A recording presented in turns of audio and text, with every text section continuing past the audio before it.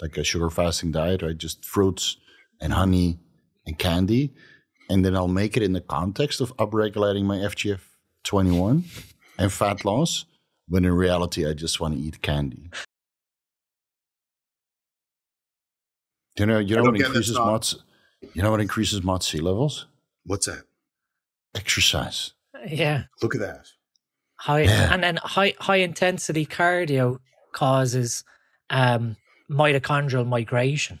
So like people don't realize this as well. Like your mitochondria move around your body. They they do not stay in the same cell. Like if your if your body so if you have a heart attack and your your heart now requires a lot of energy, what happens? All your mitochondria go towards the heart to try and keep that alive from with ATP. So depending on if you do high intensity interval training cardio, you upregulate the mitochondria in the muscle cells of your leg or within obviously your aerobic system.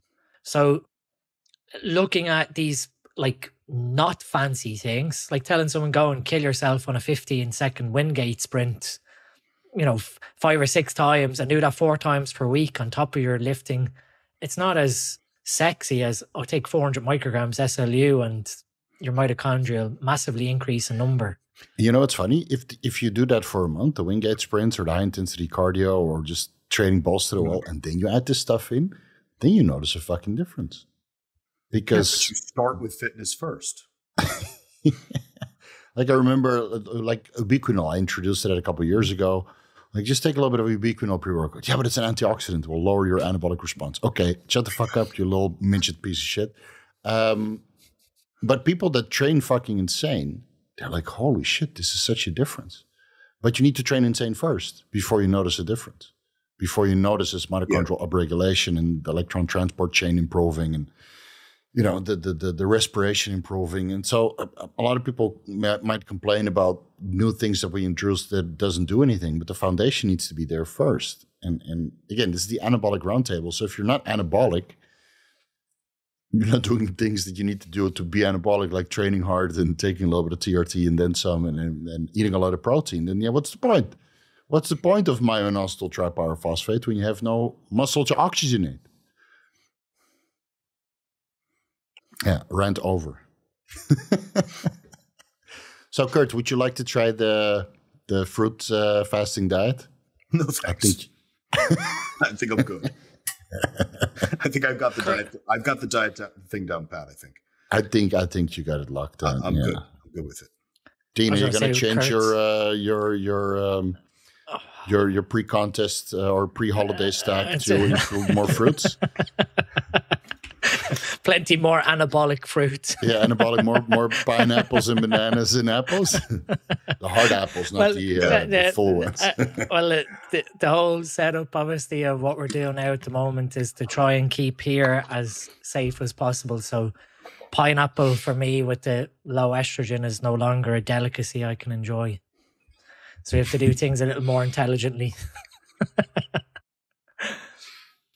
but yeah, I don't think I don't think I'm going to be changing my diet to be eating Haribos and fruits and excessive sugars just to increase my FGF21 when I do 72 to five day fasts, you know, a couple of times a year. I think what I'm going to do next time is, um, you know, when I get sick of the ketogenic diet, I'm just going to schedule one Sunday to eat like this, like a sugar fasting diet, right? Just fruits and honey and candy. And then I'll make it in the context of upregulating my FGF 21 and fat loss. When in reality, I just want to eat candy. right? It's like all those guys that, like, I'm not trying to shit on the diet, but like, people go on TRT. I need to increase my, uh, you know, the, this and that. It's, just, just say you want to use steroids, man. Just say you want to eat candy. It's fine. Just call it for what it is. Cheat meal rebranded. Yeah. And it's it, again, it's you know, people have been doing this for a long time. You guys know about skip loading, right? It's Mhm. Also very just high gonna- carbs. Yeah. And that's been around for decades. And Yeah. and the guy would just customize like Ken Skip Hill would customize your skip loads week by week, starting with a four hour eating window to six hours to eight hours to twelve hours. And then design the entire carb loading protocol around that about the foods that worked for you. And every skip load looked different. So I think this is just very nuanced uh, skip loading with fruits And if it works, it works. Great. Uh, I don't think it will work for anybody. Uh, I don't think it's very sustainable. But if you want to do it for a week or two, sure, go ahead. Go ahead. I really wonder what happens with Chase after about two weeks. Um, he's pretty in tune with his body. This is blood work. And he's, he's probably the biggest dude who's ever tried this. Yeah. What's his cycle? What is he on while he's doing this? Mm, test and retatrutide probably in GH.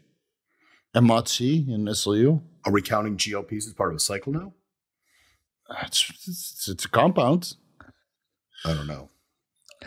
It's like half, a, half a milligram GLP uh, retatrutide monoinsulfide. I think well, see, here's another one. We talked about dietary fiber. So uh, short chain fatty acids produce GLP, GLP one. So perhaps if more people ate a balanced diet, they wouldn't need the GLP drug. Just saying. Let's say pro, pro, propionate is what improves your GLP secretion. Yeah, but that's too simple, right? Eat right. Does it? Oh, maybe that's why the testosterone propionate is working so well right now. a little different. yeah, it's a little different. Oh, you mean the the propionate? Uh, yeah, the fatty ester. Yeah, yeah, yeah. Hilarious. Not that testosterone yes. doesn't work. Uh, it does work. I mean, it's it's, it's, it's we're, we're, still still pretty saucy. It's not bad. Two hundred thirty-five pounds, baby. It's all that fruit. Yeah, it's all that fruit that is still stuck in there. And I would, I really would wonder what happens to people's liver with all this uh, fructose coming in. It's got to be fantastic uh, for you. And the funny nice. thing is, like a carnivore diet is also a great way to get non-alcoholic fatty liver disease. aren't the same guys that are preaching this? Aren't they the ones that were just doing the carnivore diet?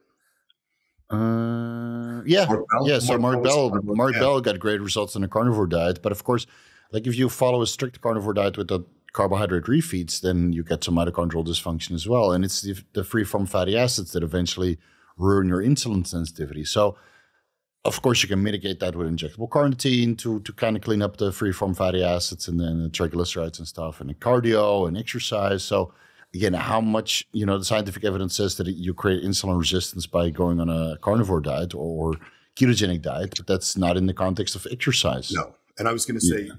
we're taught the opposite. The high fat diet can destroy insulin sensitivity.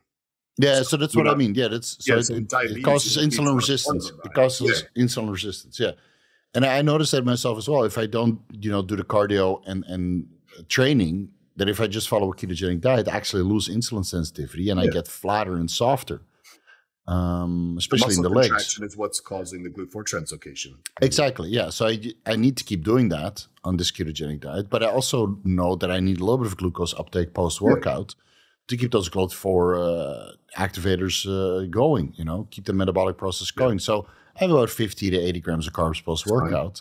And then, uh, well, whatever the fuck I want on Sunday, because on Sunday, it's if I want to eat a pastrami sandwich with fat, saturated yeah. fat, full with it, and then some uh, some high fructose corn syrup from uh, from ketchup. Of course, I'm going to go for it, man. I got a yeah. life.